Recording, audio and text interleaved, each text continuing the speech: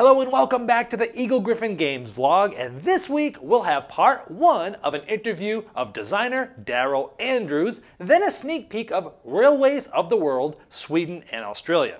We'll then take a look at a new release of Fruit Passion, and give you a quick overview of Cubist and the Eggs from the Vault segment, and then finish off with a game giveaway. But let's first update you on the final 24 hours of the Kickstarter of Illumination and the Road to Canterbury that we've covered in recent weeks weeks.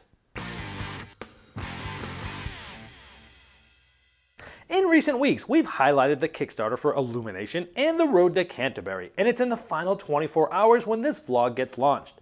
Not only has it fully funded, but it's made it into the stretch credits, giving each backer credit to use for the purchase of add-ons, whose prices have recently been lowered as well.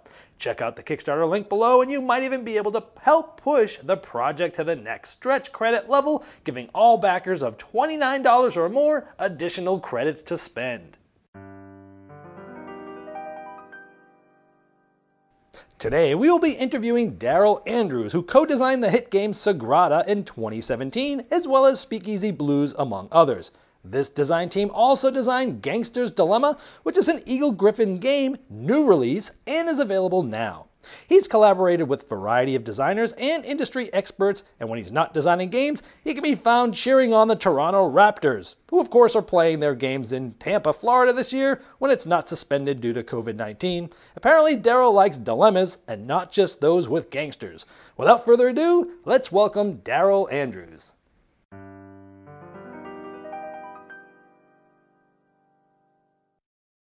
Yeah, I got into the board game hobby when I was a kid. Uh, grew up playing lots of, you know, Monopoly, Risk, etc.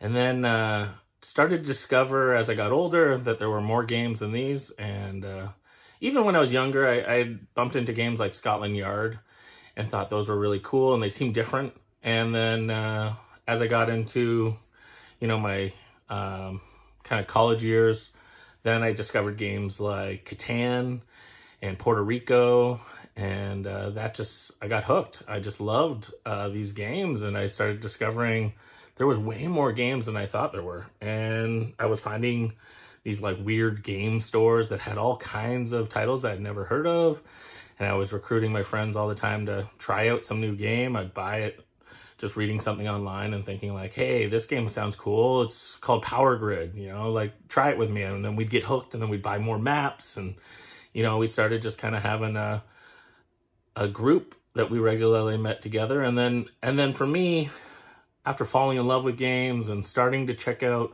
local kind of board game events and conventions, um, I ran into a thing called uh, the Great Canadian Board Game Blitz. And it was these little tournaments that happened across Canada. And I got really involved with those and met some amazing people. And in that process, started to discover that some of the games, they really highlighted the designers and they highlighted especially, they would always do a round that highlighted Canadian game designers. And that made me really deep dive into board games.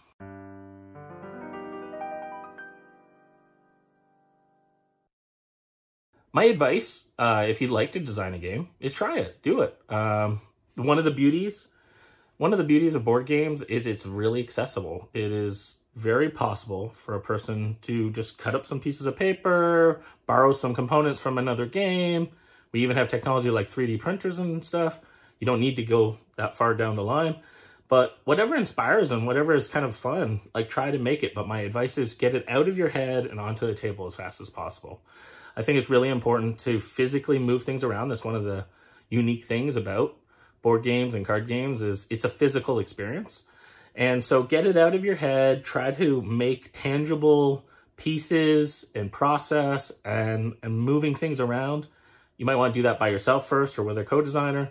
And then slowly, as you're finding the fun and as you're refining the rules, then kind of widen your, your circle and go from the core of just you as designers and start you know, widening the crowd of that. So that might be like find a few people willing to play test, might be family members early on, but you really need to expand past that and find some people that are willing to be brutally honest and and then play test, play test, play test. And as you play test, you know, be patient, listen, take notes, and then internalize that and and reiterate find solutions, not necessarily what people tell you, but identify problems and then find ways to make the story, the experience that you want to tell.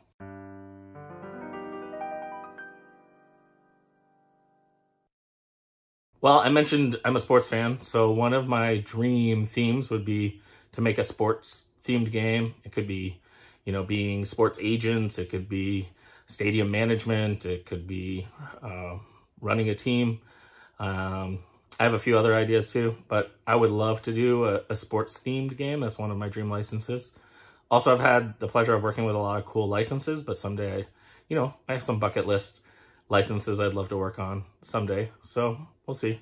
Uh, meanwhile, I'll just uh, keep trying to make games. I really want to make, more than anything, I just want to make unique games, beautiful games, accessible games, games that tell um, good stories and also make everyone feel welcome at the table.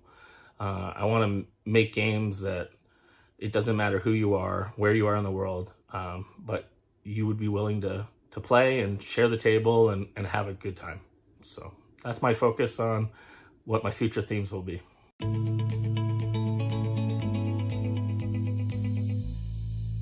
Railways of the World takes you back to the early days of the Age of Steam as you begin with a locomotive and a vision. From there, you'll attempt to build your railroad network into a vast empire. Coming to Kickstarter in April are three brand new expansions for the Railways series.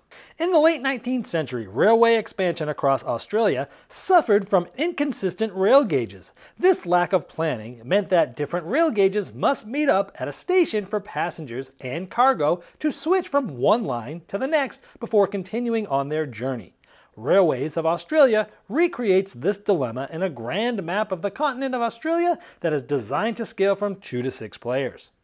Railway expansion to the north continues in Railways of Sweden, from the White North, where rail barons may make use of new operations to span the mountainous terrain, to the tight connections of the coastal ferries in the southeast, building rail lines in Sweden can be a costly endeavor.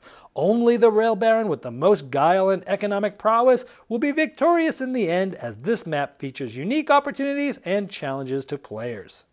The Railways of the World universe expands even further with the Rail Barons of the World expansion featuring solo play for many of the existing Railways of the World expansion maps, as well as for Railways of Australia and Railways of Sweden.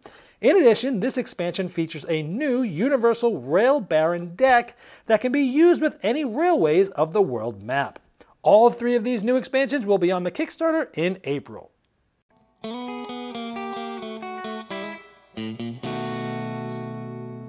Fruit Passion is the fantastically fruity, full of frivolity, fun family card game that's a quick memory card game for kids and adults alike.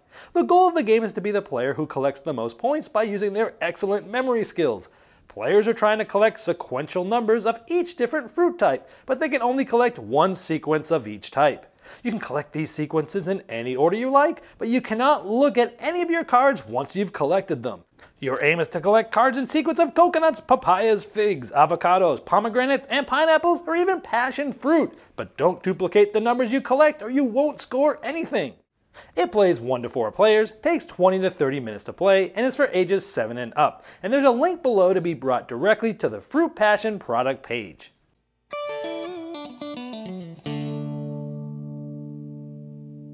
In Cubist, you and your opponents are architects competing to build a grand and inspiring new modern art museum, including its interior sculptures. Your building materials are cubes, or more precisely, all of these gorgeous dice. On your turn, you'll be rolling two dice, and these are your raw materials for building your Cubist sculptures. Over the course of the game, you'll be adding these dice to your workroom to try to create and finish installations. And dice adjacent to previous dice have to be a value of one higher or one lower. And if you want to place a die on top, it needs to be the same value. And here we have completed this installation. Not only will these completions give you points at the end of the game, but they'll also give you bonus dice. These dice can be placed in the museum that all players are simultaneously working on, trying to get points by building this, getting two points for each die of theirs there at the end of the game. But you have to watch other players because if someone completes one of the installations before you, well, you're out of luck. You'll need to work on something else instead. But it's not the end of the world because you might be able to assign dice of the same values and the same quantities to some of these artist cards. And on a future turn, you'll be able to activate this by taking a 1 from your supply and adding it to your workroom where you're building other installations. You need to find the right time to activate these, like adding a die of your choice to your storeroom before other players possibly beat you out because someone else might swoop in with the same amount of dice of the same value or higher, and yours will go back to your supply, and they might be able to activate this on their next turn if someone else doesn't beat them out. So you're constantly trying to decide where to place the dice, what to work on, watching what other players might possibly be working on, possibly focusing on some artist cards for some abilities, and trying to use your finished installations to gain points at the museum. But you're also trying to decide when to store dice for the next round for bigger plans. Cubist is a game of art for 2 to 4 players, ages 7 and up. It plays in 30 to 45 minutes and it's available now.